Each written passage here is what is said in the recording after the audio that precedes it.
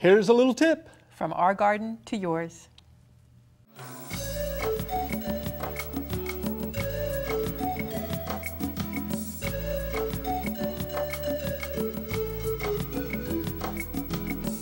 We have a topic today that's always been of interest to me, poisonous plants to touch.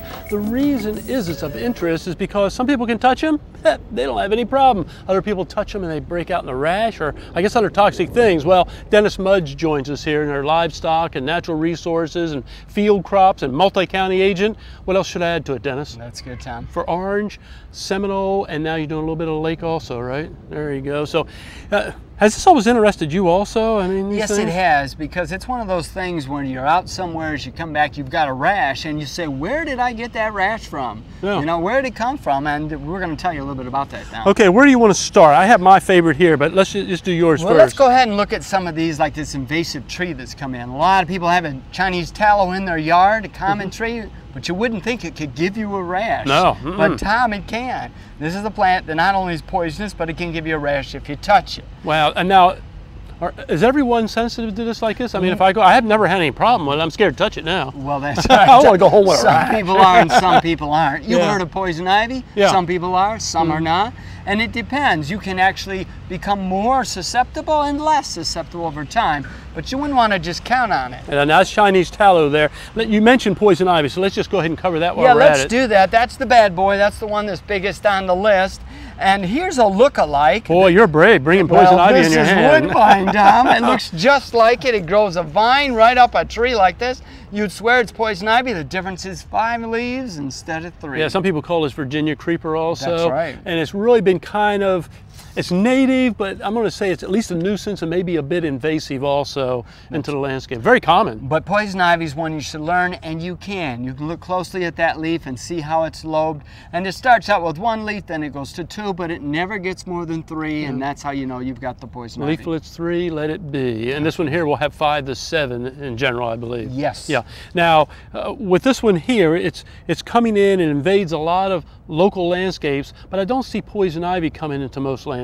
I do see it coming in with uh, transplanted plants from the wild sometimes. I agree with you. That's that's a good thing about poison ivy. Mm-hmm. That's why a lot of people think they have it and they don't. They have the Mhm. But if you're out on a nature walk, we're out in the park obviously today, and you might find some there. That's right. And Here's a surprise for you, Tom. Here's a lily that's toxic to touch. wow. And people don't think of lilies being that way, No, but mm-mm. lilies are poisonous, and often a poisonous plant would be the one that would be, and it's the sap that we're talking about. You can touch this, Yeah. No problem. But if the sap comes out and gets on you, you've got a rash. You know, Dennis, people would call me and they'd say, I've been out pruning, I've been out working with the plants, and then they come in with that rash, and sometimes quite bad. Here's another one that I brought, and I found for these split leaf philodendrons that you would uh, have the same thing. Say, well, I've been out pruning them and I've got all different kind of problems. Let me hold up another one here, and you have a relative of this there. This is the poinsettia. You know, people say this is a deadly plant.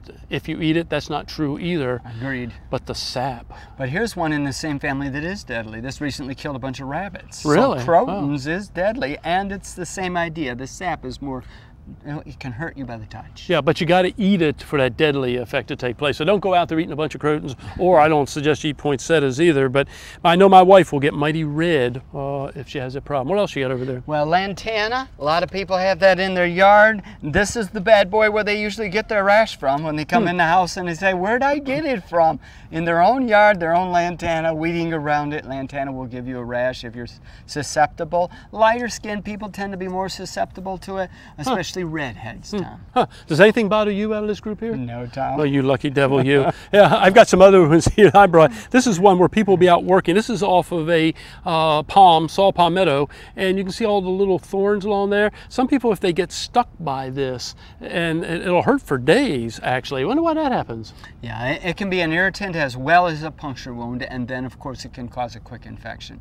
So you want to be careful. Another thing, Tom, that we really should mention is a thing about poison ivy or poison oak you may not know is you can get it from your pet. Ooh. Your pets get it on them. They don't catch it. They go run around. You say, I never was where the poison ivy was. Well, maybe Fido was. You go up there and pet Fido, and all of a sudden you got it. Here's one more I have here: bananas. Uh, this one here, if you get the sap on you, some people are sensitive. Let me tell you that the banana and also the split leaf philodendron can stain your clothes. So it might not hurt you, but in some people it will. It could be a problem. So, any final tip on things we need to think about? Just stay away from, or what? Look up online the mm-hmm. plants you've got around home and be aware of the ones you need to be more sensitive. And gloves are a great idea, Tom, especially if you think you might have rash quite often. Good. Thanks, Dennis. Appreciate it, Dennis Mudge. And if you're out in the landscape, good advice from Dennis. Wear gloves, and if you know the plant's affecting you, hey, stay away from it.